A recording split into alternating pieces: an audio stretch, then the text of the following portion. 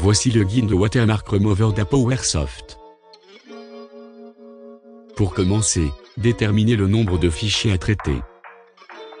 Changez la langue. Dans le menu de Aide, vous trouverez Achat, Support, Feedback, les mises à jour disponibles.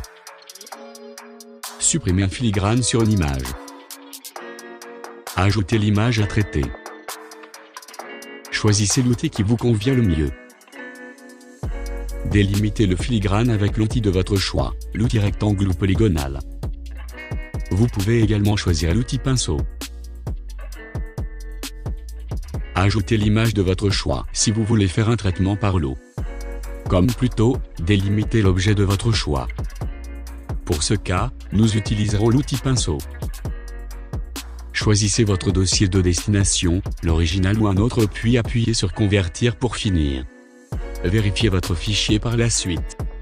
Supprimez un filigrane sur une vidéo.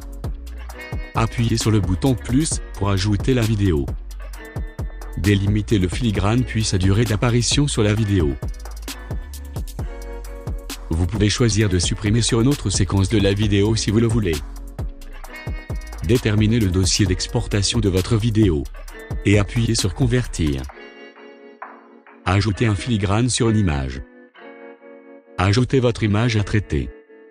Ajoutez le texte que vous voulez ajouter sur votre image.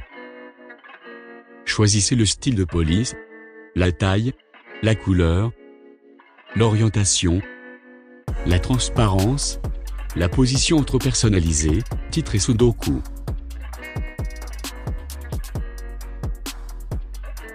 Vous pouvez ajouter un logo, puis en changer sa taille, le faire pivoter, changer la transparence et l'emplacement.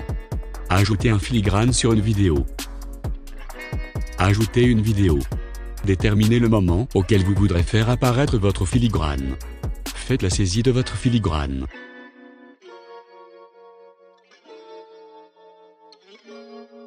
Si vous voulez vous pouvez ajouter une image, déterminer son emplacement, sa taille, le style de police, la couleur, la transparence et faites pivoter le filigrane si besoin. Merci d'avoir regardé. N'oubliez pas de nous suivre sur Facebook, Twitter et notre site officiel. À très vite pour une prochaine vidéo.